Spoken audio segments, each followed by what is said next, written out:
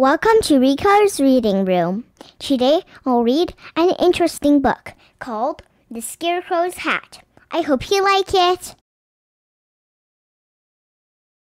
The Scarecrow's Hat, written and illustrated by Ken Brown. That's a nice hat, said Chicken to Scarecrow. Yes, it is, replied Scarecrow, but I'd rather have a walking stick. I've been standing here for years now, and my arms are so tired. I'd love a walking stick to lean on. I'd swap my hat for a walking stick any day. Now, Chicken didn't have a walking stick, but she knew someone who did. That's a nice walking stick, said Chicken to Badger. Yes, it is, replied Badger. I'd rather have a piece of ribbon. It gets hot and stuffy underground, so I prop my door open with my stick. But I'm always tripping over it. If I had a ribbon, I could tie the door open. I'd swap my walking stick for a ribbon any day. Now, Chicken didn't have a ribbon, but she knew someone who did. That's a nice ribbon, said Chicken to Crow.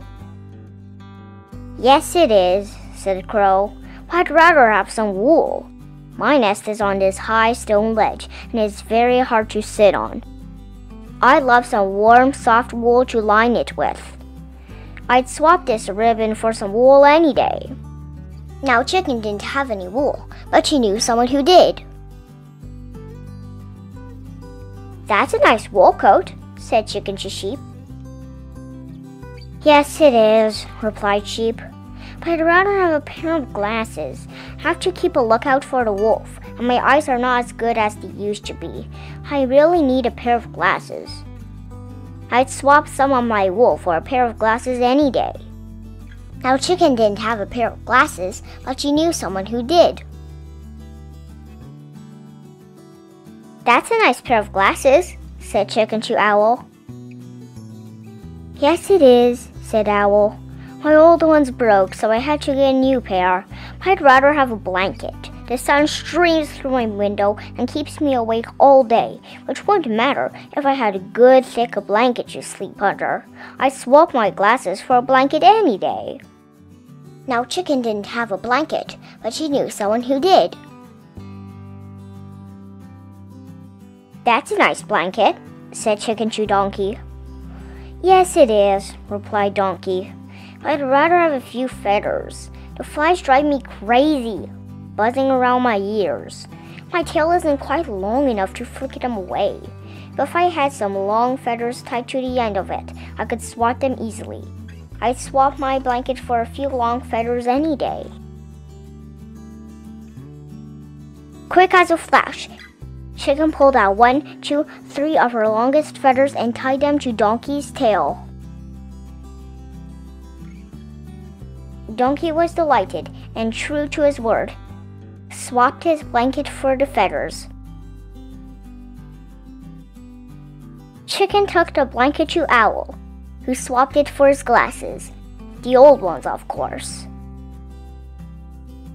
She took the glasses to Sheep, who swapped them for wool. She took the wool to Crow, who swapped it for a ribbon. She took the ribbon to Badger, who swapped it for his walking stick.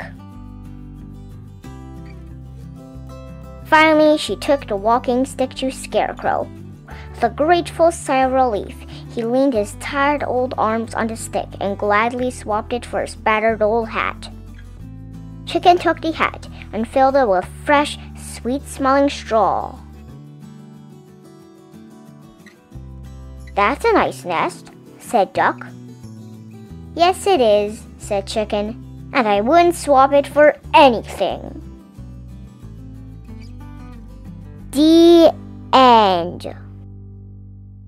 If you like my video, please hit the subscribe button down below. Thank you. Have a great day.